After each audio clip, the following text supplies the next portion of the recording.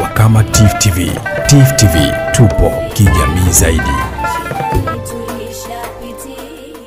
Nchi inapenda kutoa taarifa hii kwa huzuni kabisa.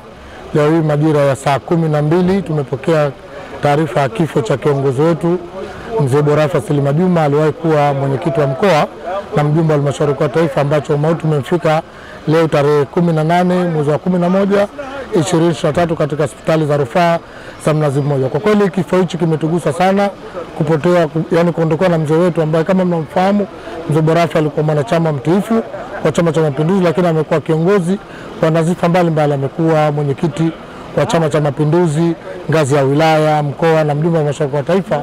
Lakini mzee Borafa mpaka umauti unamfika, alikuwa ni mwanachama mtiifu na mwaminifu wa Chama cha Mapinduzi, kada mwaminifu ambaye alikuwa kila wakati alikuwa yuko tayari kujitoa kwa ajili ya chama chake.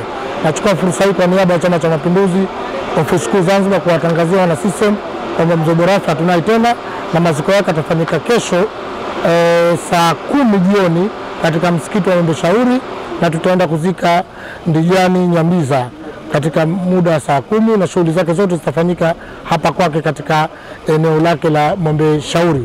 Kwa maana hiyo tupokee taarifa hii na taarifa maandishi itatoka ya Chama cha Mapinduzi. Tuwatakie wafiwa wote wawe na moyo wa subira na tumwombee dua mzee wetu ambaye ametangulia mbele ya haki na sisi tuko nyuma yake. Baada ya kusema hayo, kidumu Chama cha Mapinduzi! Asanteni sana.